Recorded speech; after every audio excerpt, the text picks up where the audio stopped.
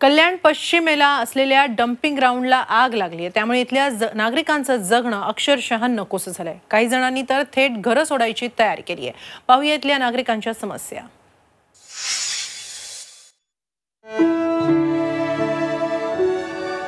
कल्याण पश्चिमेला आधारवाडी परिसरातील silver residency नावाची ही इमारत. या इमारतीत राहणारे वृद्ध चंद्रकांत कुलकर्णी आणि त्यांच्या पत्नी वृंदा कुलकर्णी.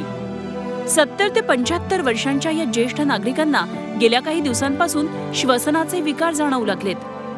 डम्पिंग ग्राउंडला लागलेल्या आगीमुळे आजोबांना दम्याचा त्रास सुरू झालाय.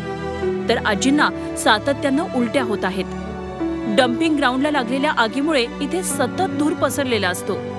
घराच्या भिंतींवर काजळी धरली जाते धुरामुळे मोकळा श्वासही घेता आलेला नाही.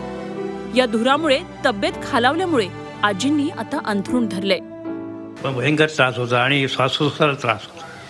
अजून पण एक आहे बोलताना हे होतो ना मला. आणि ना दम लागतो काल पण भयंकर त्रास झाला. आणि डोळे एकदम दळदळ करायला लागले.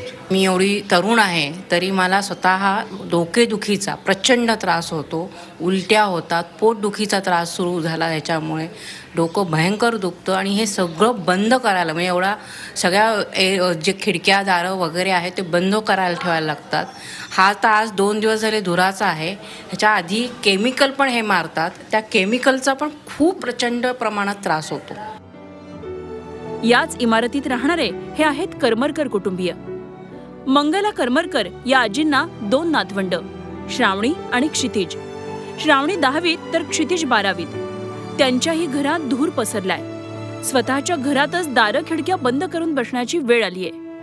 घुसमट होतीये पण धुरामुळे पंखाही लावता येत नाही अशी स्थिती आहे. या धुरामुळे मुलांच्या अभ्यासावर प्रचंड परिणाम झालाय. पंखा लावल्यास डोळे जळजळतात. ऐन परीक्षेच्या वेळी शारीरिक त्रास सुरू झालाय. स्वतःचं घर असूनही मित्रांच्या घरी जाऊन अभ्यास करावा लागतोय. धुराचा पुष्कळ त्रास होतो काही करू नयेसं वाटतं. घशाला कोरड पडते डोळ्यातून पाणी येतं आणि मग आवाजालाही त्रास होतो. तुम्ही दिवसभर खिडक्या बंद करून बसता? आ? दिवसभर खिडक्या बंद करून बसता? हो दिवसभर खिडक्या पडदे ओढून बसायला लागतं.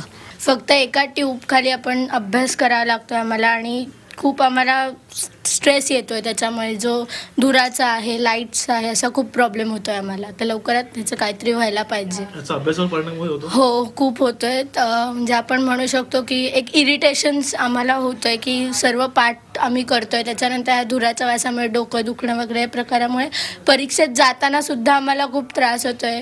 धुरामुळे खूप त्रास होतो डोळे झोमतात त्यामुळे वाचता येत नाही. जे आपण पाठ करतो ते लक्षात राहत नाही डोकं दुखण्यामुळे नंतर पोटात मळमळ करते मग दुसरीकडे जाऊनच अभ्यास करायला लागतो. काही ऑप्शनच उरलेला नाही प्रत्येक विद्यार्थ्याची हीच हे. हो जे आता इथे राहतात त्यांचा तर तोच प्रॉब्लेम आहे. कारण कोणी काहीच करू शकत नाही कारण सगळीकडे धूर धूर धूर फॅन नाही लावू शकत.